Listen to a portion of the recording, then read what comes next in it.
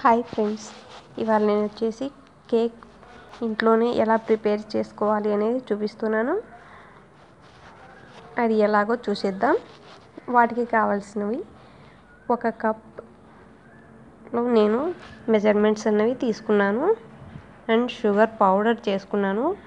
Sugar అయితే ఒక half cup తీసుకున్నాను. హాఫ్ కప్ పెరుగు తీసుకున్నాను. అండ్ ఇందులో నేను షుగర్ పౌడర్ చేసేటప్పుడే అవి ఎలాచీ వేసుకున్నానండి.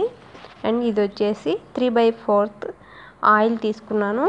ఆయిల్ వచ్చేసి ఫ్లేవర్లెస్ ఆయిల్ అయి ఉండాలి. దీన్ని మిక్స్ చేసుకున్న తర్వాత ఒక ఫైవ్ మినిట్స్ ఇలా నురుగు నురుగుగా వస్తుంది.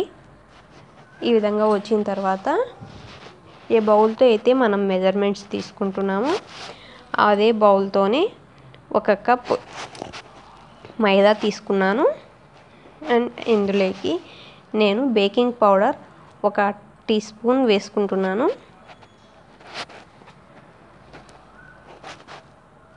అండ్ ఒక హాఫ్ స్పూన్ బేకింగ్ సోడా వేసుకుంటున్నాను.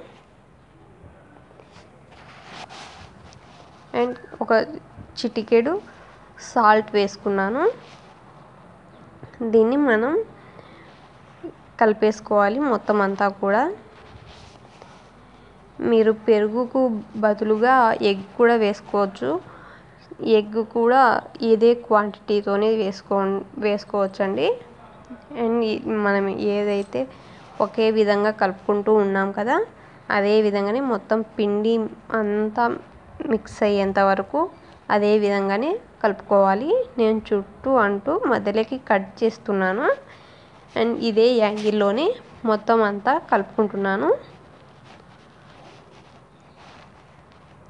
అండ్ ఇలా మొత్తం అంతా కలుపుకున్న తర్వా తర్వాత ఇది అయితే కొద్దిగా గట్టిపడింది. అండ్ మనం ఒక త్రీ టీ స్పూన్స్ పాలు అన్నవి యాడ్ చేసుకుంటున్నానండి. ఇవి వచ్చేసి పాలు కాచి చల్లారబెట్టిన పాలండి. అన్నీ ఒకేసారి వేసుకోకుండా కొద్ది కొద్దిగా వేసుకుంటూ కలుపుకోవాలి. టూ టైమ్స్గా నేను వేసుకొని కలుపుకుంటున్నాను. ఇలా మొత్తం అంతా ఒకే యాంగిల్లోనే కలుపుకోవాలండి మనం.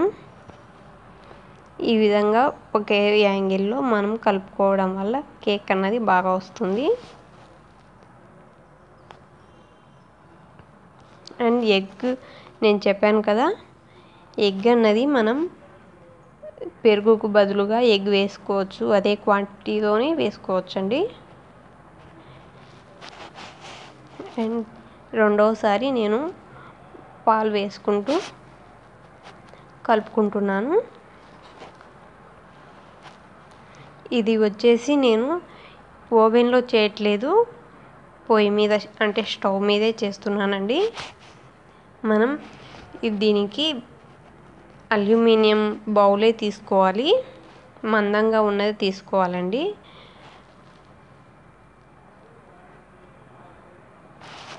అండ్ దీన్ని మనం ప్రిపేర్ చేసుకున్నాం కదా. అండ్ ఈ విధంగా మనకు ఇలా జారుతుంది కదా ఈ మిశ్రమంలో ఉండాలి. ఇక కేక్కు పిండి అయితే మనం ప్రిపేర్ చేసుకున్నాము ఇక బౌల్ తీసుకుందాం.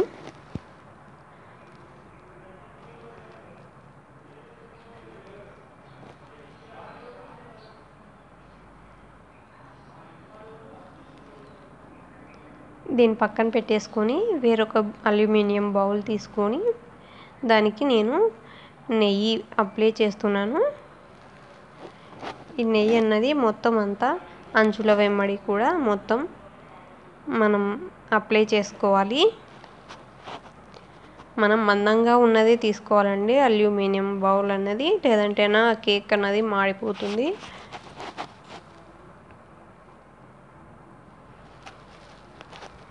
అండ్ ఇలా తీసుకు మొత్తం అప్లై చేసుకున్న తర్వాత కొద్దిగా మైదా పిండి అన్నది వేసుకొని